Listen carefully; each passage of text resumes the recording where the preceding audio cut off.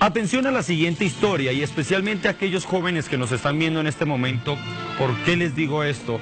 Porque para que ustedes valoren y aprecien a los papás que tienen. Porque la historia que nosotros le vamos a contar es de no creerla. A mí me ha dejado asombrado, me ha dejado algo de, que, de no creer. Le vamos a contar la historia de Stephanie Ross, una niña de 12 años que a su corta edad ya se tiene que hacer cargo de una persona y no estamos hablando ni de un hermanito ni de una hermanita. Ella se hace cargo de su abuelita de 72 años, que además está enferma, está delicada de salud. Ella desde su corta edad, que debería estar estudiando, jugando, compartiendo con los amiguitos, tuvo que dejar todo eso de lado para ponerse a trabajar y poder llevar alimentos a la casa, porque les decía, tiene que cuidar a su abuelita de tan solo 72 años, una abuelita que está delicada de salud. Vamos a conocer la historia, por favor, y más adelante vamos a hablar justamente con Stephanie Ross y también con el mayor Patsy que nos acompaña en nuestros estudios. Stephanie tiene 12 años de edad. Hablar con ella es como conversar con una joven de por lo menos 17 años. Está madurando a prisa ya que desde muy pequeña le tocó conocer lo duro de la vida. Su madre murió cuando era apenas una bebé. Como es varón, si hubiese sido mi hijo mujer, ya le hubiese dicho, ya tú cría como es tu hija, como era varón. Yo me he hecho cargo de la chiquitita, era dos años y medio. A partir de ahí creció al cuidado de su abuela. Su padre la habría olvidado. Nos cuentan que ya tendría otra familia, nueva esposa y dos hijos. No, no viene mi papá, no ve lo que yo veo. Y él habla cosas mal de mí. Y eso a mí me duele porque él, ¿cómo no va a ver a su propia mamá, a su propia hija? Con el pasar de los años, Stephanie dejó de ser bebé y se convirtió en niña. Su abuela, más cansada por los años, ahora es una anciana. Los papeles se invirtieron y es Stephanie quien ahora cuida de su abuelita hay que volverle a hacer sacar radiografía para ver cómo está y según eso también. Y otra cosa, análisis. Los análisis, todo. Y según eso, eh, los medicamentos también hay que ver cuáles son, todo, porque... ¿Quién te ha dicho que necesita eso? Los doctores. La anciana mujer con 72 años de edad nos cuenta que padece de reumatismo, Parkinson, el corazón le duele y su columna no puede enderezarse. Quiero que un médico que me vea siempre bien de reumatismo y de la cadera, de la columna, todo. Ahora, ¿qué, ¿cuál puedo hacerme curar? Digo, porque la vesícula está bien avanzada igual. Las necesidades que tienen son varias, desde tratamiento médico hasta dinero y víveres. Stephanie vino al canal por cuenta propia en busca de ayuda, ya que lo que gana con el dinero que obtiene, ayudando en el mercado y algún restaurante, no le alcanza. También me paga poco, claro, ¿no? Pero eso también, hay veces todo hay que comprar. Yo también hay veces mi abuelita no sabe, me presto. A pesar de que Stephanie no asiste al colegio porque no le alcanza para los útiles escolares, entre muchas de las necesidades que tiene, la madura niña pone por delante el bienestar de su querida abuelita. Yo no, nada, solo único quiero verle a mi abuelita mejor. De mí no importa lo que sea, yo puedo estar haciendo por mí misma, pero me preocupa mi abuelita. Toda ayuda que puedan recibir es bienvenida. Stephanie estará esperando por su colaboración en instalaciones de Bolivisión durante toda la mañana de este viernes.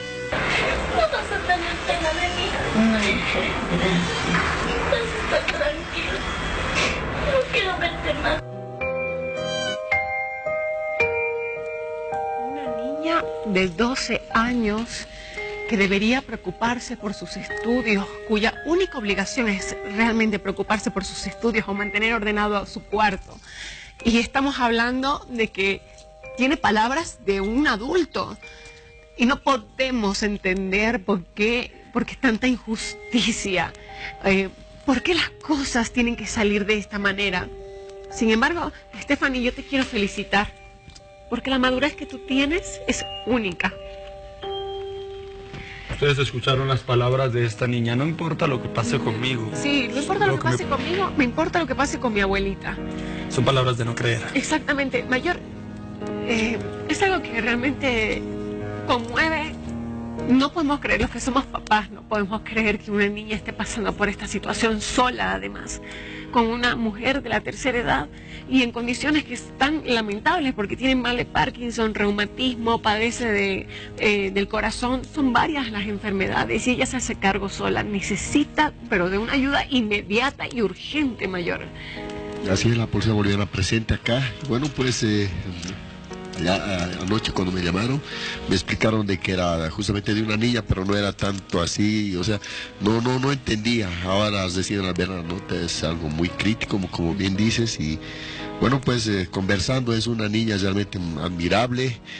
Eh, Qué increíble que una niña se haga cargo de su abuelita mismo. Pero Pareciera mentiras la historia. Totalmente. Uno dirá, es inventada, pero no, es una realidad que está viviendo justamente esta niña de 12 años. Stephanie, buenos días.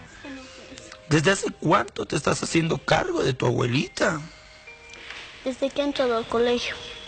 Ya mm, debe ser desde que desde el tercer curso desde el tercer curso. Tú te levantas, hablábamos tras cámaras, te levantas desde tempranito, te vas a trabajar para conseguir justamente algo de ingresos para tu casa y alimentación. ¿En qué trabajas?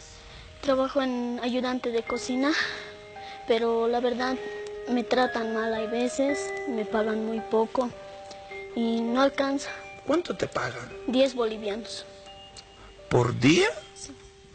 ¿Y a qué hora, a qué hora ingresas y a qué hora sales? 9 de la mañana. ¿Y sales? A las 4. Y en ese transcurso de horas, ¿cuáles son tus funciones? Tengo que pelar la papa, la zanahoria, pasar los platos.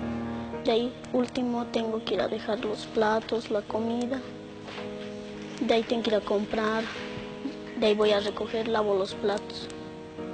Yo me pregunto cuántos en casa, jóvenes y niños que están y viven con sus padres, saben pelar papas, saben lavar un plato, saben hacer un quehacer. Yo le garantizo que más de uno no hace esas obligaciones porque lo que está pendiente es de jugar y de sus estudios. Esta niña está demostrando algo increíble.